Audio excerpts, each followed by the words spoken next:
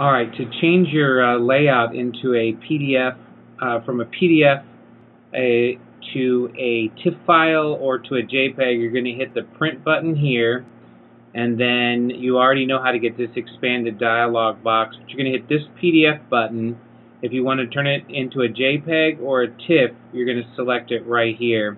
And if you want to know what these are doing and what's controlling that, go to your Finder, go to your hard drive, go to your library folder, and then scroll down to your PDF services. And in PDF services, uh, this one is the JPEG, so you notice it's the same thing here, right? Uh, this is the one for the JPEG. Let's move this out of the way. These right here are being controlled by this right here. So let me just cancel that for this for the moment. Ah, Dave. Uh, so if I want a TIFF, you can, uh, like, if, let's start with a JPEG. If you want to make a JPEG that you're going to do, uh, it'll open up your Automator. See it up here? Automator is opening. So it'll open up Automator. And I have mine set to make 300 DPI JPEGs. If you've never done this before, uh, and it's right here, if you've never done it before, uh, this is the PDF folder to a JPEG. It'll be 200 DPI. Well, we don't want 200 DPI. We want 300 DPI. And if you want to make yourself variations of that, uh, then you could. Um, you can also, uh, at this point, you can change it to a TIFF if you want to make different versions of TIFFs. So that's that's how you're going to change that. So like if I went in here and clicked on the TIFF, it's going to tell me that it's making a TIFF file at 200 DPI, and you'd probably want to change that to 300 DPI TIFFs.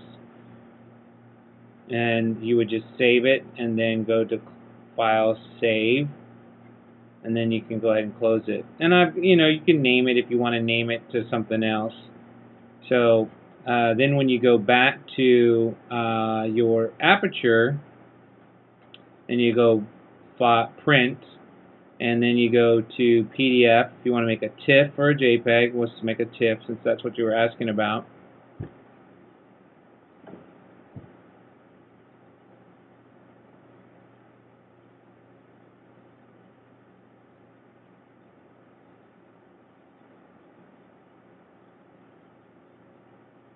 Now you can see that it's working up here. It's rendering the PDF pages.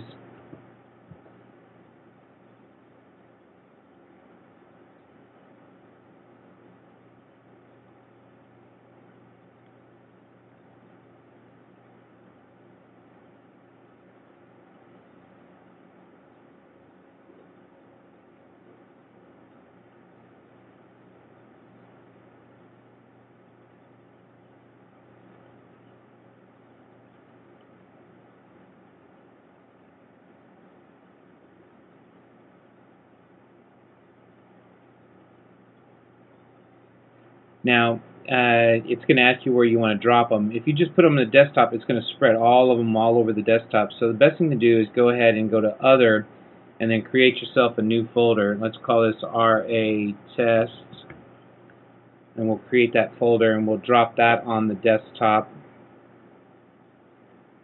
And then we'll say, since there's nothing in there, you don't have to replace them. I'll say Continue, and now you'll be up here looking again. It's it's copying the the folder items.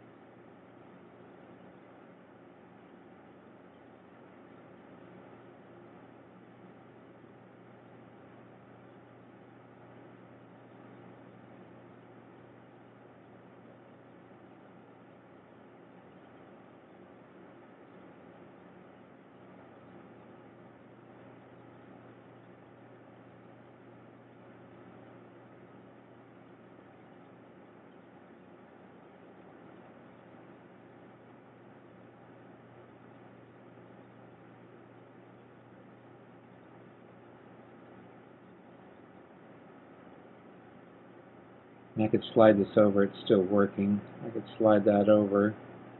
We can look in here. See it's making them. Okay, it's done here. So here's your TIFFs. If I pull this one into Photoshop, you can see it.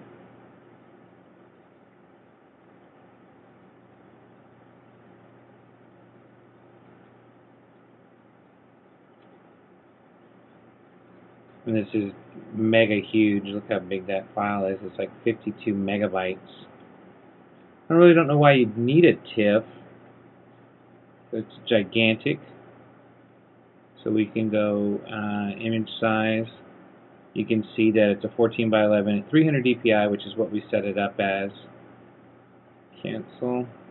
And then if you wanted to make the same thing in uh, JPEGs, what we can do is just um, let's just put this on title folder here. This could be the the, TIFFs. Uh, let's see.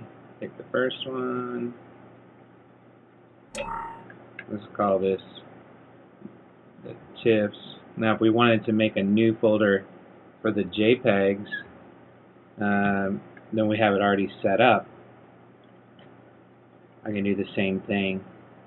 I can go here to print. Probably go a little faster since they're not as big. I'm going to go to as a JPEG. And remember, I already have it set up at 300 dpi, which is what we want.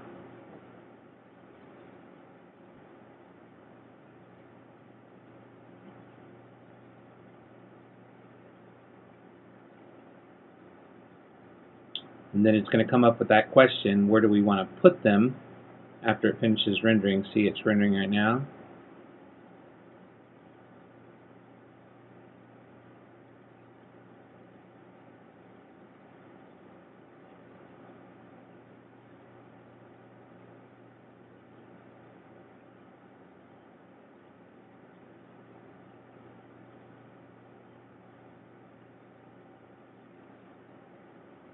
And then let's go to other.